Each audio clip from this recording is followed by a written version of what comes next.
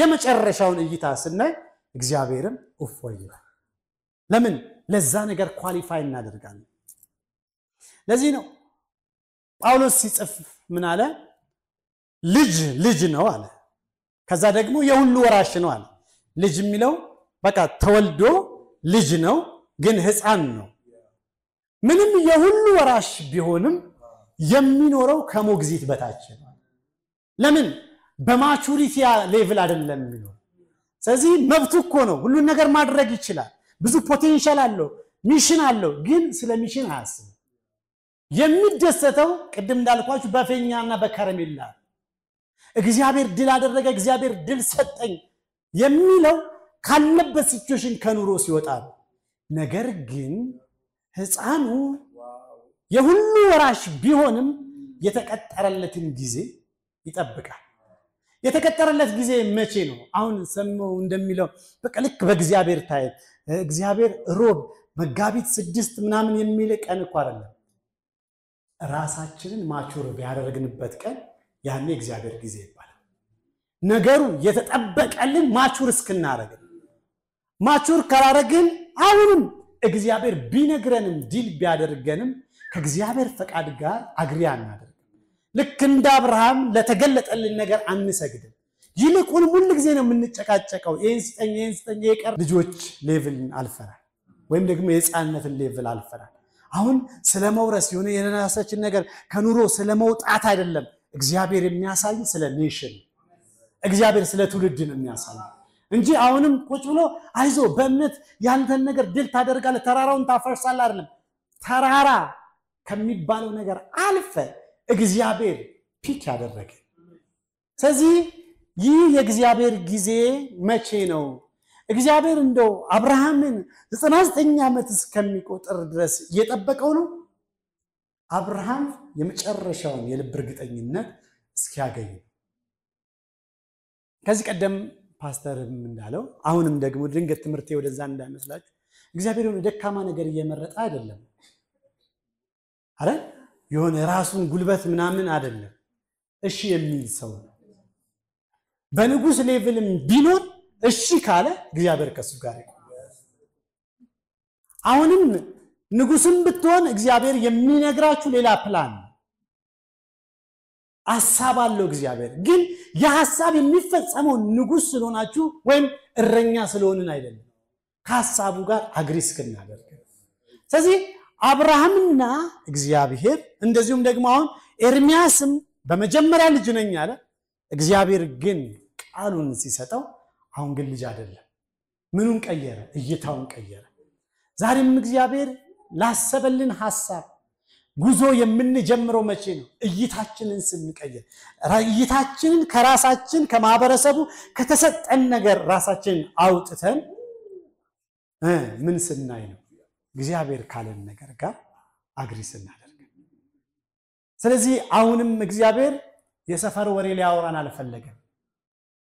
ላቅ ያለውን ነገር ሊያወራን praise God የተሻለውን ከፍ ያለውን ብቻህን ሆኖ ህዝብ አረግሃለሁ ይላል። የአክስት ልጅ የአጎት ልጅ ሳይኖር ብቻህን። እስቲ እንዴት ነው የምታደርገኝ ስል ደግሞ አይምሯችን እስኪፈነዳ ድረስ ምድር መቁጠር ትችላለህ? ምን አለ ከዝን ምናምን ያሉት ብዙ ሰው ቢል እኮ አረ እንትና አስር ይወልዳል ሀያ ይወልዳል ምናምን ብቻውን ምንም ያልወለደ ሰው አንተ እንደ ምድር አሸዋ አበዛሃለሁ። እግዚአብሔር የሚያውን ነው የሚነግረን። አሁን ራሳችንን ዛሬ ያስፈለገው የዛሬው ትምህርታችን ምንድን ራሳችንን ከእግዚአብሔር ጋር ልክ ከተናገረው ነገር ጋር እኩል አድርገን መቆም። እግዚአብሔር ከተናገረው ነገር ጋር አሜን ዲዘርቭ አደርጋለሁ ዞር እንዳንል ሌላ ሰው እንዳትጠብቅ። እግዚአብሔር የሚያወራው አንቺን፣ እግዚአብሔር የሚያወራው አንተ ነው። አሁንም እግዚአብሔር በእውነት በደንብ በልቤ እርግጠኛ ሆኜ የምነግራችሁ ነገር የሆኑ ልጆች ወልደን የሆነ ነገር ኖሮን የሆነ company ኖሮን እፎይ ብለን እንድንኖር አይደለም። እግዚአብሔር ለካ በእናንተ ልጅ ፕላን አለው። አይገርም? በይስሐቅ ውስጥ ፕላን አለ። ይሄ ብላቴና የተባለው ኤርሚያስ ውስጥ እግዚአብሔር ፕላን አለ።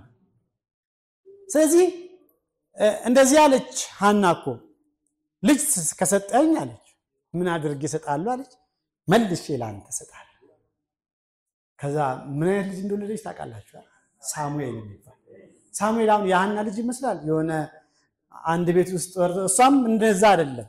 purpose ያለው ልጅ ለእግዚአብሔር መንግስት ካህን የሆነ በቤተ መቅደስ የሚገኝ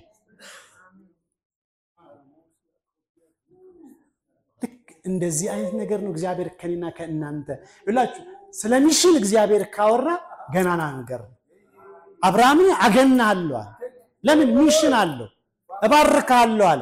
ከዛስ የአንተ በረከት እንደገና ለበረከት አደርግሃለሁ አለ ስለዚህ እግዚአብሔር አብርሃምን የሚያወራው የሆነ አብርሃም ጥሩ ሆኖ ፌመስ ሆኖ እንዲኖር አይደለም። እሱ ደግሞ ለበረከት እንዲሆን። በአብርሃም ዘመን ሲነገር የነበረው ሁሉ ነገር አቤት! አብርሃምን እግዚአብሔር እንዴት እንደባረከው!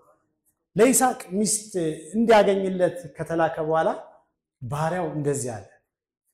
እግዚአብሔር አለ ጌታዬ አብርሃም እጅግ ባረከዋል አገነን ለትውልድ ሁሉ እንደዚህ ያደረገው ግን ሀሳቡ እግዚአብሔር እችን ለአብርሃም ሰጥቶ ሳይሆን እዛ ጋር እኛን እያየን ለትውልድ እያየን በሱ ውስጥ በአንተ ዘር ይጠራል፣ ኢየሱስ ይመጣል። በኢየሱስ ውስጥ ደግሞ እኛን እግዚአብሔር አያችሁ የሚያው ኤርሚያስን በዛ ዘመን ውስጥ ላሉት ለነገስታት ለምናምን ትንቢት መናገር ካስፈለገ የእግዚአብሔር ድምፅ በአንተንም ያልፈዋል። ሌላ ያየነው ማርያም ነበረች።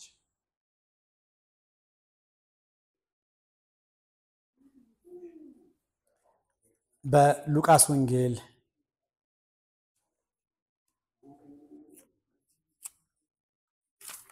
ሃሌሉያ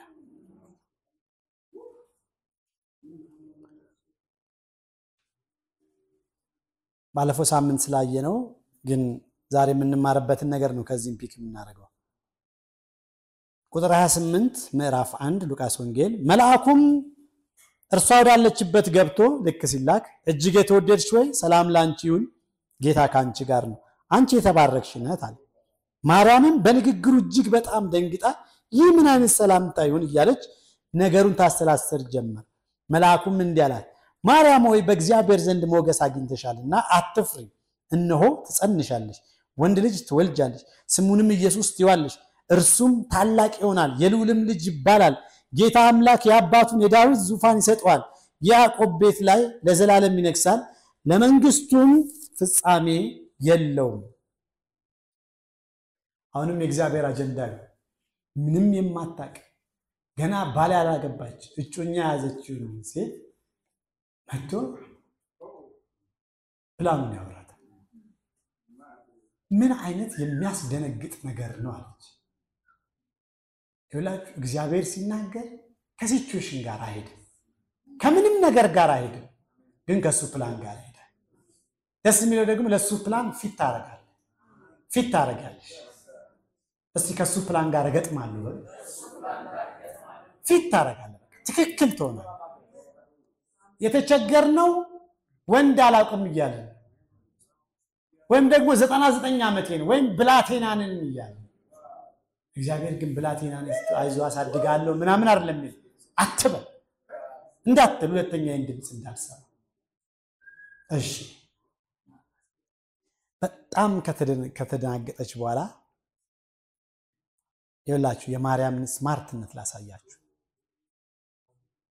ማርያምን መልአኩን እኔ ወንድ ስለማላውቅ ይህ እንዴት ሊሆን ይችላል አለችው። በቃ አሁን አስረዳኛል አግሪ አድርጋለች ግን መንገዱ እንዴት ነው? ይህ እንዴት ሊሆን ይችላል? ርዕሳችን እንዲህ ይሆናል አይደል?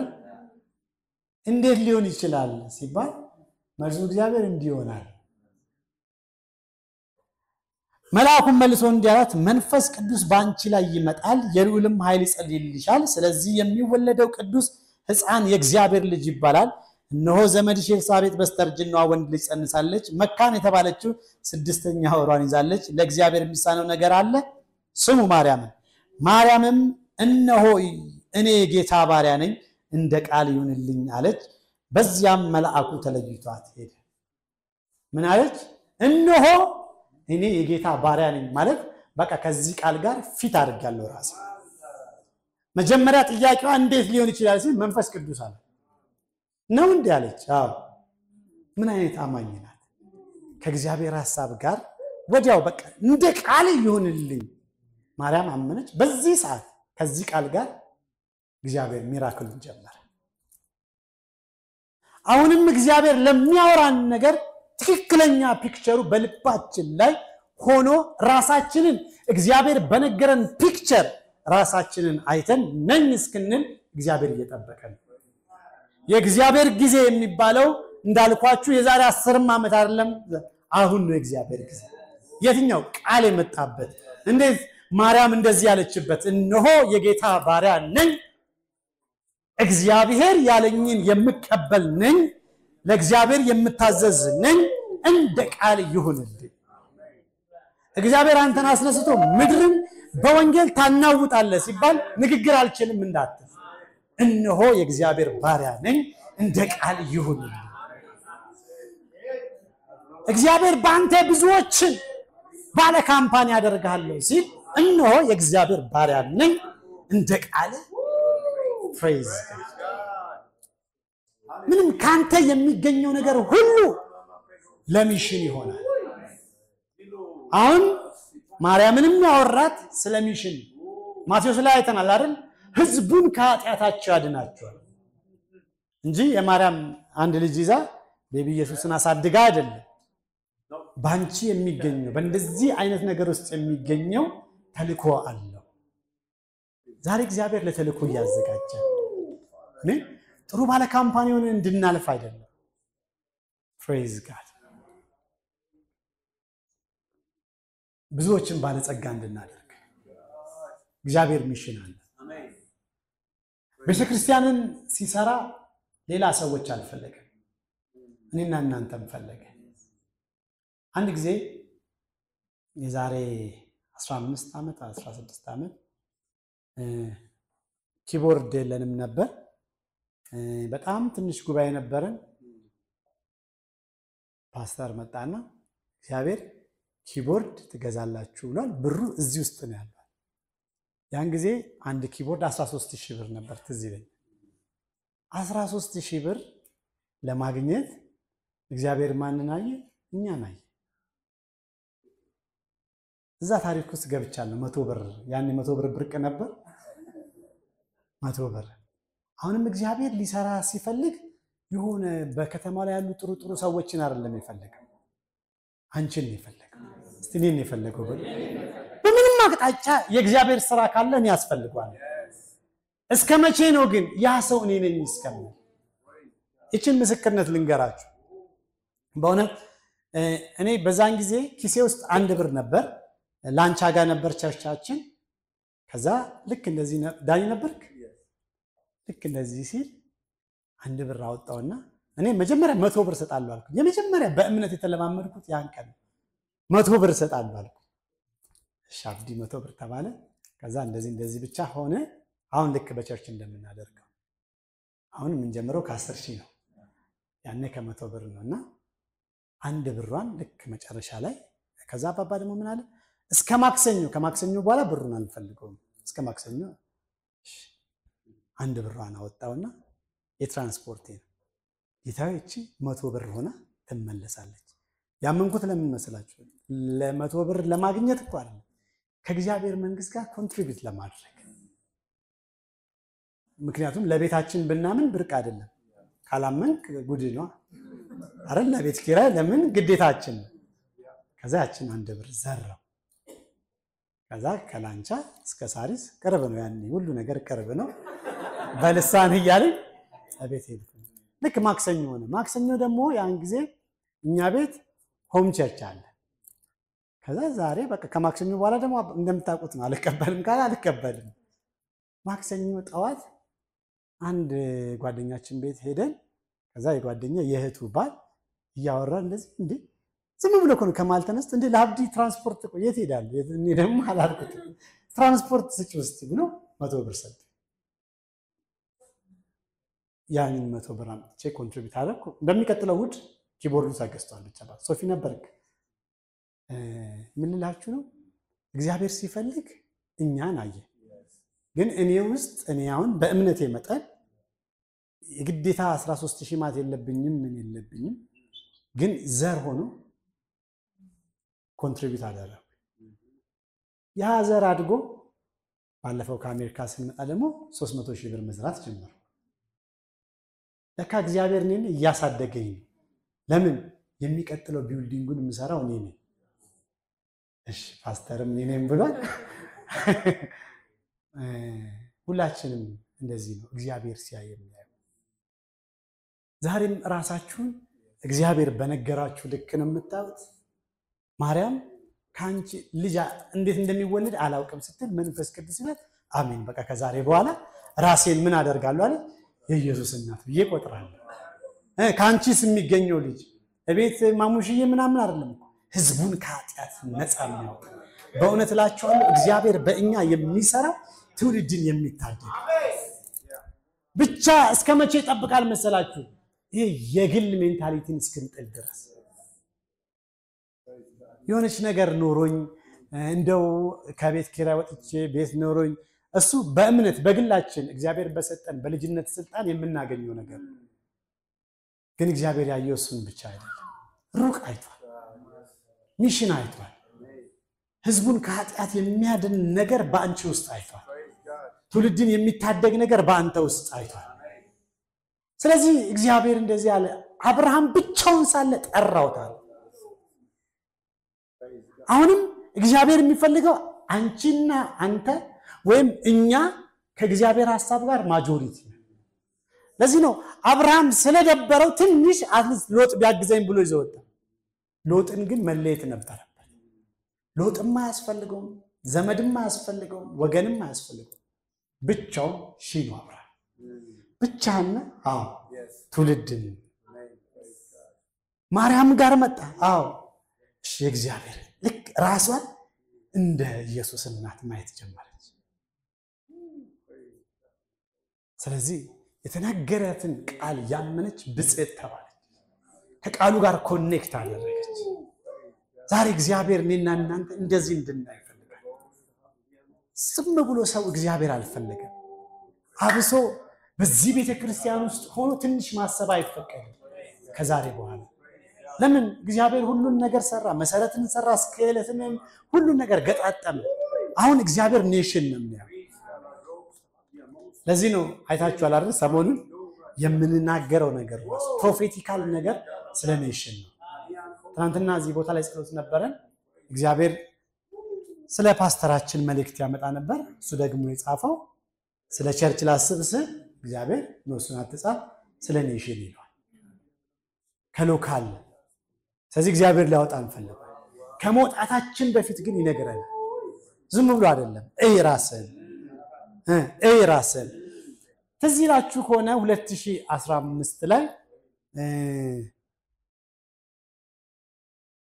ፓስተር እንደዚህ ያለ ስለ ራሱ ሲነግረን ሚዲያዎችን አለ የተለያዩ ሚዲያዎችን ዓለማዊ ሚዲያዎችን እዛ ላይ እውነትን መናገር አለ ከዛ በኋላ ሬዲዮ በሉ ኢቢኤስ በሉ ምን እግዚአብሔር አዘጋጀው መልእክትን ሰጠው።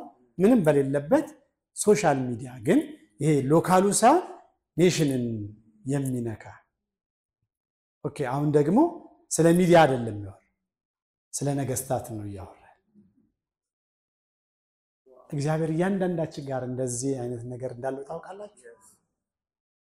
ምናልባት ስለ ማግባት የሆነ ልጅ ስለ መውለድ እያሰብን ከሆነ okay፣ በልጃችሁ ውስጥ እግዚአብሔር nation ን እያየ ነው። ከእናንተ የሚገኘው ተራ ልጅ አይደለም። የሆነ ዩኒቨርሲቲ ገብቶ ጥሩ ተመርቆ የሚኖር አይደለም፣ ለትውልድ የሚሆን ነው። ስለዚህ ያን ሩቁን እንድታዩ ነው። እቺ ቅርቧ ምንም እግረ መንገድ ናት፣ ግን እግዚአብሔር እያየ ያለው በእኛ እሱን አይደለም። ስለሆነ company የምታየው ከሆነ በዛ company ተጠቅሜ ከዛ የሆነ ነገር አድርጌ አስራቴን ከፍዬ ከዛ ቤት እንትን እንትን አድርጌ ምናምን ጥሩ ኑሮ እግዚአብሔር ከጥሩ ኑሮ ያለፈ ነገር ነው የሚያስበው። ሰዎችን ጥሩ ስለማኖር በአንተ ውስጥ ያልፋል። እንጂ እኔ ኖርቼ በልቼ ባለፈው ሳምንት እንዳዩ እኔና ልጄ በልተን የምንሞተው አለች። የመጨረሻ እይቷ እኔና ልጄ በልተን የምንሞተው። ኢየሱስ ደግሞ ስለ አንድ ሰነፍ ሰው ሲናገር ሰነፍ እኮ አይደለም፣ በስጋ ብታዩት እኮ ጎበዝም። እንዴት ሰርቶ ለፍቶ ጥሮ ምን ብሎ በጎተራ እህል ያከማች ታላቅ ሰው ነው። ምናልባት ዓለም ስለሱ ልትዘገብ ትችላለች።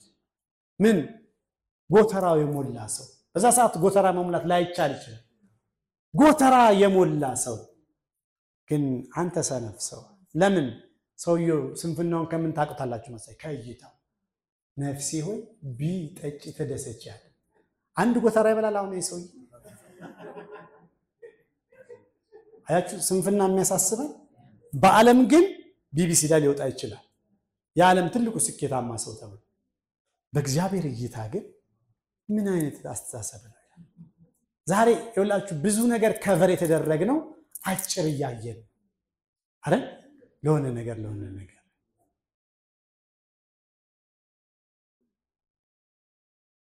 አንድ ምሳሌ ልናገር ነበር። ተውኩት። እሺ።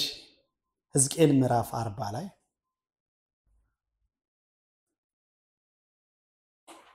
አሁን ወደምንጸልይበት ክፍል እንድናይ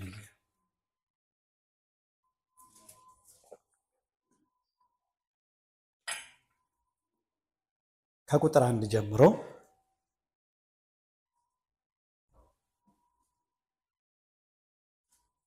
በተሰደድን በሀያ አምስተኛው ዓመት በዓመቱ መጀመሪያ ስለዚህ እነዚህ ሰዎች በምንድን ነው ያሉት? በስደት ውስጥ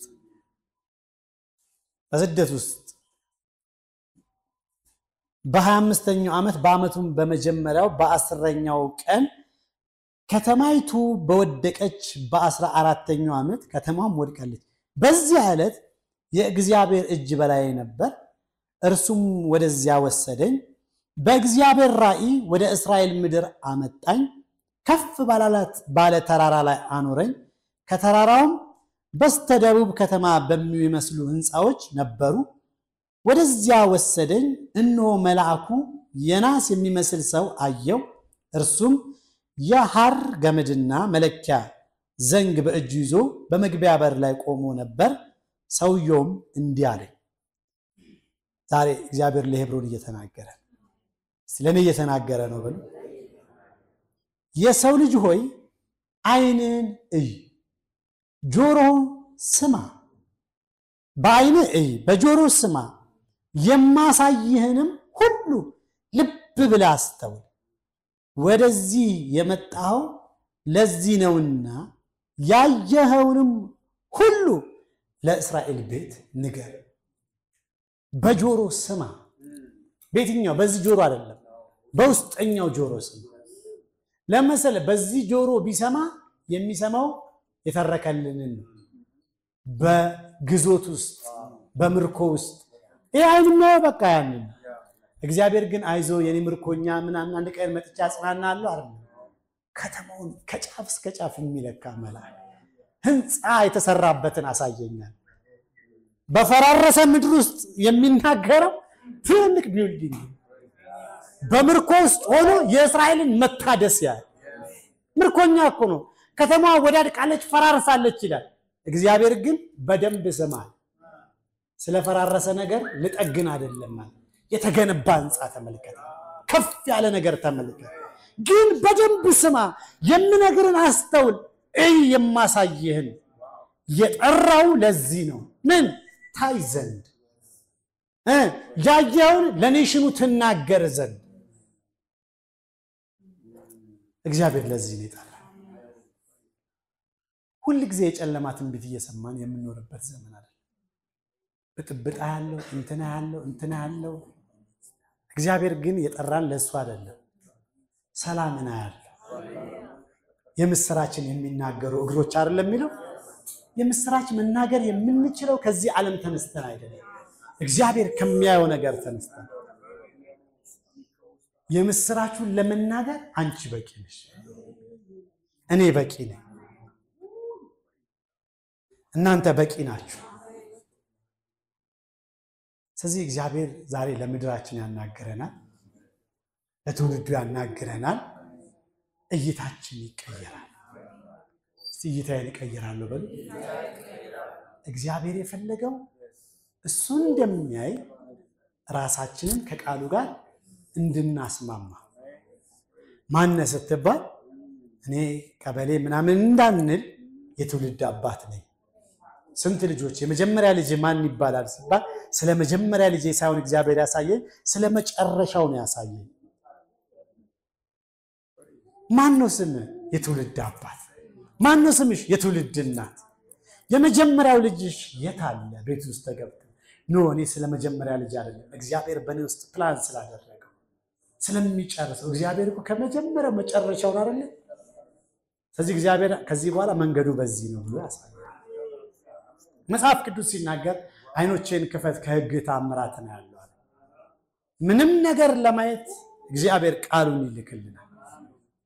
አሁን ከነዚህ ከጳውሎስም ከማርያምም እንደዚሁም ደግሞ ከኤርሚያስም ከአብርሃምም የምናየው ነገር እግዚአብሔር የነገራቸው ከ situation ኣቸው ጋር የማይሄድ ከ personality ያቸው ጋር ከስጋ personality ያቸው ጋር የማይሄድ ግን የእነሱ quality ምንድን ነው? እግዚአብሔር ከነገራቸው ቃል ጋር engage ያደርጋል። አቤት ይላሉ። ጳውሎስ እኮ ልክ ይህንን በነገረኝ ጊዜ አለ ከስጋና ከደም ጋር አልተማከርኩም አለ። ጳውሎስ ይህንን ማስረጃ ይዞ ደብዳቤ ይዞ የሚሄደውን ሰውዬ ትንሽ ላስብበት እኮ አላለ። እግዚአብሔር አቆመውና ስለ nation ነገር በአንተ ነው ነገስታትን እንደዚህ እንደዚህ እንደዚህ የሚደርሰው ምናምን ብሎ ቁጭ ብሎ ጳውሎስ መማር ጀመረ። በቃ ለዛ ነገር ራሱን qualify አደረገ። ማርያም እንደዚህ እንደዚህ ነው የእግዚአብሔር ባሪያ እንደ ቃልህ ይሁን ራሷን qualify አደረገ። ኤርሚያስ ከዚህ በኋላ ልጅ ነኝ እንዳትል አንተ የምታየውን ነገር አያለው፣ የለውዝ በትር አያለው። እግዚአብሔር በትክክል አይተሃል። አብርሃምስ አየው። ምን አደረግኩ? መስዋዕትን ሰዋው። ዛሬ እኔና እናንተ የምስጋና ቀናችን እግዚአብሔር ለነገረን ነገር ለነገረን ለትውልድ ነገር ለሚመጣው nation ለሚመጣው ቤተሰብ ለሚመጣው ወንጌል ለወንጌል ስራ እግዚአብሔር ላቀደው ለእግዚአብሔር ፕላን እኔና እናንተ በቂዎች ነን። ምናልባት መናገር ላትችል ትችላል። ምናልባት በጣም ጥሩ ተውት። እሱ በስጋ ራሴን አልመለከትም፣ ራሴን በእግዚአብሔር ቃል አያለሁ። ስለዚህ ለትውልድ ትንቢትን እናገራለሁ። ሃሌሉያ! ባላችሁበት ሆነን እንጸልያለን።